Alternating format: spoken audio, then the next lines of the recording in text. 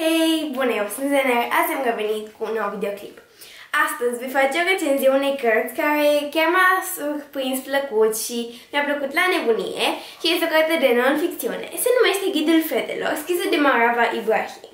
50 de lecții despre cum să-ți iubești corpul aflat în primă transformare iar ea a apărut în română la editura Casa și le mulțumesc enorm pentru ea, deoarece în această cărticică micuță și ziceți poate că mi se de non-ficțiune și nu va plăcea tuturor, dar dezvoltă niște subiecte care chiar te ajută, mai ales pe fete, deoarece este o carte adresată fetelor, deoarece surprinde și anumite probleme personale, iar astăzi voi deschide patru subiecte împreună cu voi, iar voi în comentarii trebuie să vă spuneți voi opinia despre ele.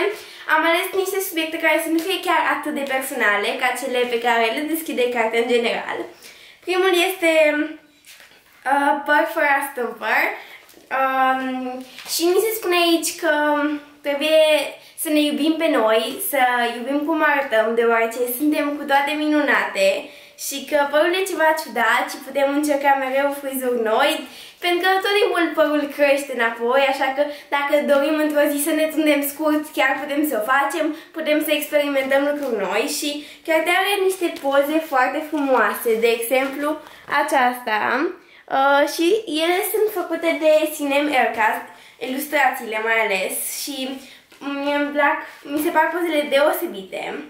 Și uh, cartea dezvoltă subiectele acestea ale fetelor care spun că trebuie să ne iubim pe noi, deoarece toate suntem diferite și suntem frumoase în felul nostru. Apoi, un alt subiect este Nu e singură, uh, pentru că această carte dezvoltă și subiecte um, cum ar veni să nu te simți mereu singură, dezvoltă chiar subiecte legate de sport, legate de probleme personale, legate de aspectul nostru.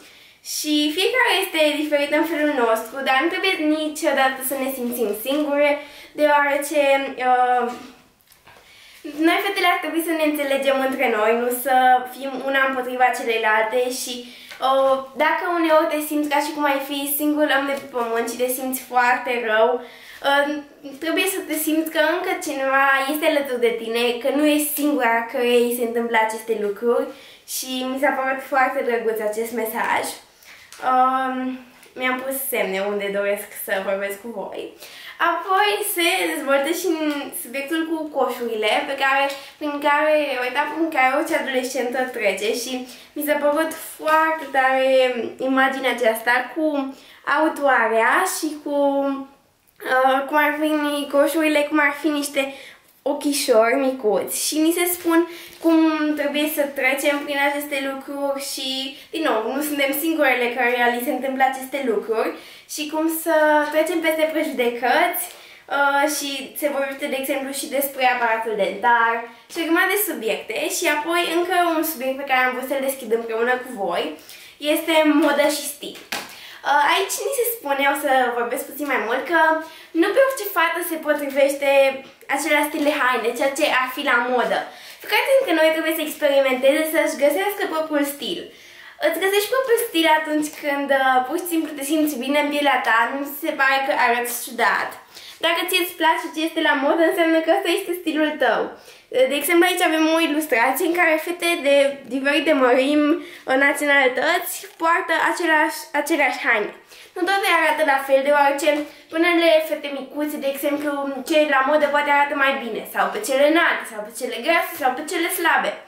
Dar um, nu înseamnă că ce e la modă trebuie să fie purtat de toată lumea și toată lumea trebuie să-și găsească propriul stil în care să poarte ceea ce el crede că îi se potrivește.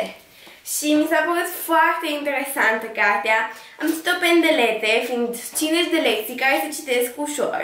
Și mi-a plăcut mult că autoarea are niște povestioare inserate cu primele ei amintiri și lucruri de genul acesta. Și o să vă arăt și niște ilustrații care mi-au plăcut mult. Um, și la final sunt un fel de fun fact-uri despre uh, cum a fost scrisă cartea, ca să le găsesc.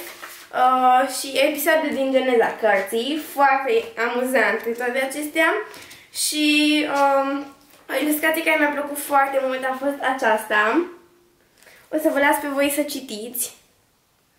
Este foarte interesantă cartea, iar eu o recomand tuturor pentru că așa puteți afla mai multe despre voi.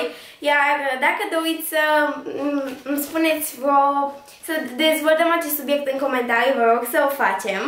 Uh, și ce, cele subiectele deschise de mine. Și mie mi, mi s-a părut foarte interesantă cartea, din nou spun acest lucru și cred că aș oferi 5 stelițe din 5 pe Goodreads. Uh, eu de obicei nu citesc cărți de non-ficțiune, mi se par plictisitoare, dar um, poate că ar trebui să încep să fac acest lucru, deoarece pot afla mai multe informații noi care sunt chiar reale și din experiența unor oameni care știu ceva și care uh, au trăit aceste lucruri. Și cartea uh, are la început cum era autoarea la 10 ani și cum arată acum, deoarece uh, în timpul, atunci când s-au făcut pozele, autoarea s-a tuns așa și atunci ei s-au gândit să recreeze această poză. Uh, eu voi lăsa în, descri în descriere un link de unde puteți achiziționa această carte și eu zic că ea chiar merită. Din nou îi mulțumesc editurii Casa foarte mult pentru ea. Și vă sper că v-a plăcut acest videoclip. Și nu uitați să vă abonați la canalul meu. Pupici, spăr la citit! Pa!